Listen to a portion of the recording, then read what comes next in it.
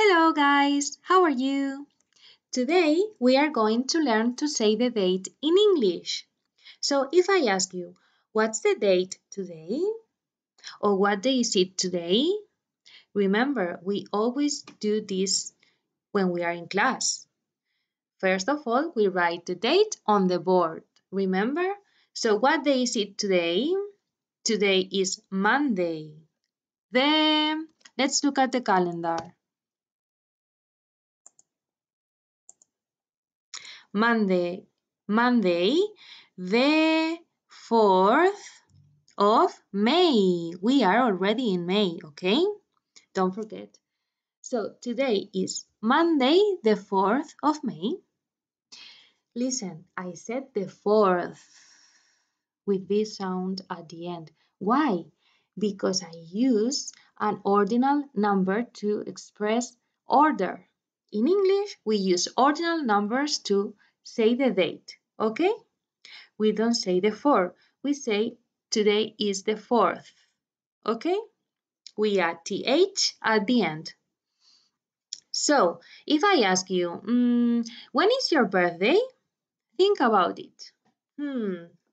In my case, my birthday, I'm going to, to say, my birthday is on the 14th of October.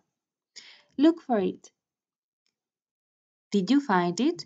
My birthday is on the 14th of October. Here it is, okay? So, I didn't say the 14th, I said the 14th, okay? Ordinal number. When is your birthday? Think about it. I'm going to ask you later. So, my birthday is on the 14th of October. Okay? See, I add th at the end. Well, here we have some numbers and how to say the ordinal ones, okay? So for number one, we say the first. That's why here you can see the shortest way for number one. We add st because it comes from the first. Okay, we say the first, today is the first, or today is the second. We don't say today is the two. No, it doesn't sound very well. We say the second, the third. Mm, well, these ones that I highlighted in yellow are special cases. We call them irregular, okay? The rest of them, the rest of the numbers, uh, we just need to add th at the end of them, okay?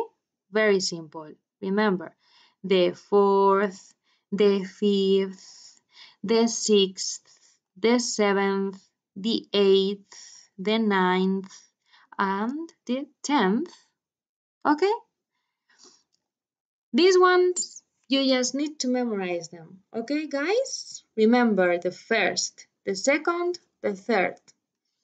Okay, see you later, guys. Bye-bye.